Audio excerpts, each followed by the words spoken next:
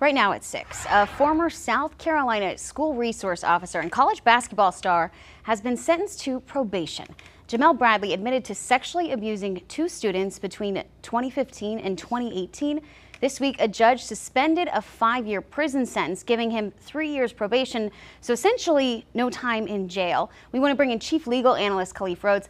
Khalif, these are serious crimes. How did he avoid jail time? Typically, these are negotiated pleas. I mean, so first of all, you, you got to talk about his attorney doing an excellent job trying to figure out how you can get a resolution. And so, first of all, you're looking at a person's criminal history. You're going to determine did this person have some type of past. If they do, most of the time it's going to be hard for a judge to say they would agree to some type of sentence like this. Um, but you have to negotiate. You have to have something that the DA, um, some most of the time it's looking at the case, looking at the facts of the case. What can you prove? Um, even though you have these allegations, sometimes sometimes the allegations can't be supported by the facts that you have. And so they're saying, well, it's better for us to go ahead and get this plea while we can get it. And so now the details of the plea, that's different. We recognize that how do we avoid prison time? You avoid prison time by negotiating this with a DA that's open to, to, to having that conversation. And obviously that's what happened here.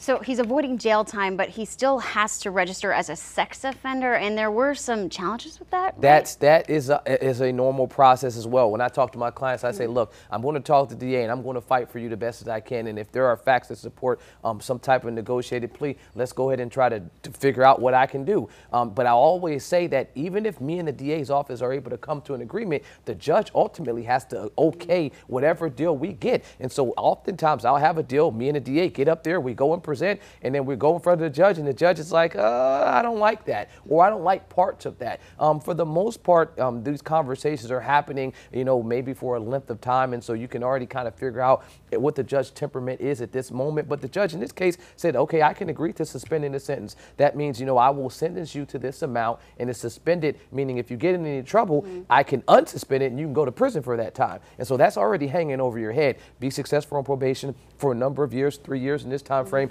and you're it just can go away. Okay, great. But in terms of the sex offender part, the judge didn't like that and wanted to stick. The, the, the counsel is saying, you know what, we'll, we'll ask the judge to reconsider that portion because now this changes this individual's life.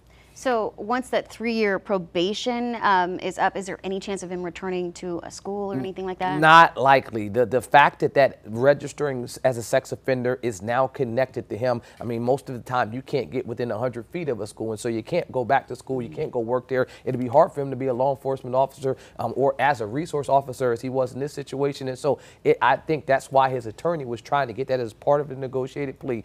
Try to find a way once he gets back out into the community, um, once probation is done and he starts to go out and try to find some career, well, can he do something that he was doing before?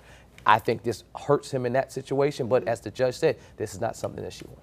Awesome. Thank you so much, Khalif, for explaining everything for us. We appreciate you.